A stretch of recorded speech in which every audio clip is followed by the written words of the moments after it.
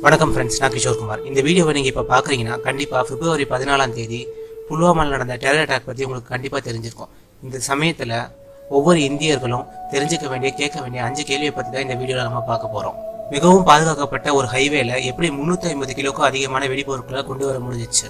இவ்வளவு மோசமான மனிதத்தன்மையற்ற ஒரு தீவிரவாத தாக்குதல் நடக்குதுன்னா கண்டிப்பாக இதுக்கு பல மாதங்களாக பிளான் செய்யப்பட்டிருக்கும். அந்த பிளானை பற்றி ரெண்டு நாட்களுக்கு முன்னாடி வந்த இன்டெலிஜென்ஸ் ரிப்போர்ட்டை ஏன் இக்னோர் செஞ்சாங்க. ஒவ்வொரு சாமானிய மக்களுடைய வாகனமும் அந்த ஹைவேல போறப்ப சோதனை செய்யப்படுது. அப்படிப்பட்ட பாதுகாப்பான ஹைவேல எப்படி அவ்வளவு அதிகமான வெடிபொருட்களோட இருபத்தி ரெண்டு வயசு பையன் எப்படி தனி ஒரு கார்ல கொண்டு வந்தான்? யாருக்கும் எந்த சந்தேகமும் வரலையா? எப்படி ஒரு தீவிரவாத அமைப்பால இவ்வளவு அக்யூரட்டா கணிச்சு யூகிச்சு இந்த தாக்குதல் நடத்த முடிஞ்சிச்சு? நம்ம என்ன அவ்வளவு வீக் ஆயிட்டோமா?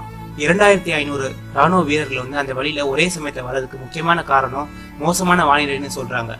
வானிலையை மட்டும் குறை கூறுறது நியாயமா? சரியா? இந்த அஞ்சு கேள்வியை பத்தி உங்களோட கருத்துக்களை கீழே கமெண்ட் பண்ணுங்க. இதுல ஏதாவது தப்பு இருந்துச்சுனாலும் கீழே கமெண்ட் பண்ணுங்க. இறந்து போன ராணுவ வீரர்களோட பேரை கீழே டிஸ்கிரிப்ஷன்ல போட்டிருக்கேன். அதில் விடுபட்டிருக்கிற பேரை கூடி சீக்கிரமே அப்டேட் பண்றேன். தேங்க்ஸ் ஃபார் வாட்சிங் அண்ட் ஜெய் ஹிந்த்